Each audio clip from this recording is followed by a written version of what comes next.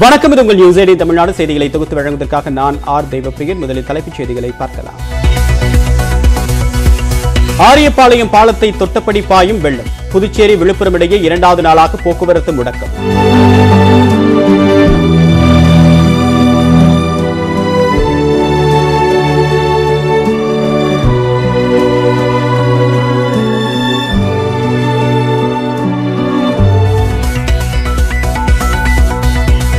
தென்பெண்ணை ஆற்றில் ஒன்றரை லட்சம் கனஅடி நீர் வெளியேற்றம். கடலூர் மாவட்டத்தின் பல கிராமங்கள் வெள்ளத்தில் தத்தளிப்பு.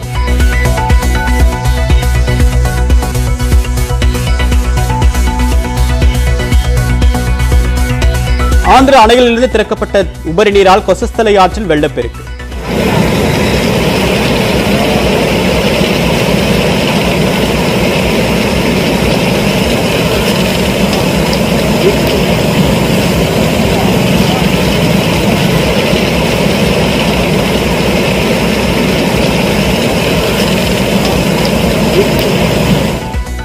சென்னை திருப்பதி சாலையில் இரண்டாவது நாளாக போக்குவரத்து துண்டிப்பு.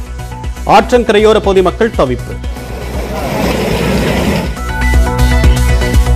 கிருஷ்ணகிரி கிழவரப்பள்ளி அணையிலிருந்து மூன்றாயிரம் கனஅடி நீர் வெளியேற்றம். அதிகளவு நுரை பொங்குவதால் ஓசூர் கிழவரப்பள்ளி வழித்தடத்தில் போக்குவரத்து பாதிப்பு.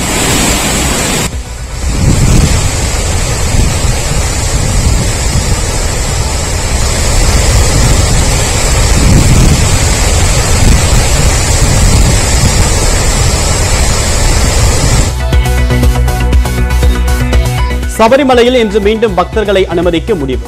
பம்பை நதியில் வெள்ளப்பெருக்கு குறைந்ததை அடுத்து நடவடிக்கை.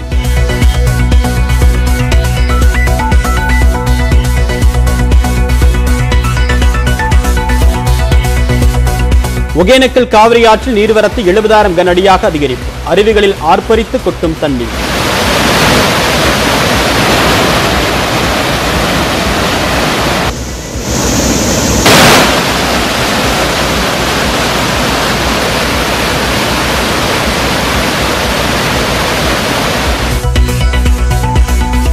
திருத்தணி முருகன் கோவிலில் சிசிடிவி கேமராவை மறைத்த விவகாரம்.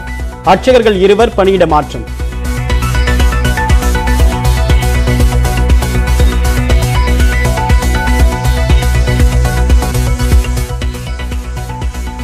முதலமைச்சர் மு ஸ்டாலின் தலைமையில் இன்று தமிழக அமைச்சரவை கூட்டம். மழை வெள்ள பாதிப்புகள் நிவாரணம் குறித்து ஆலோசிக்கப்பட வாய்ப்பு.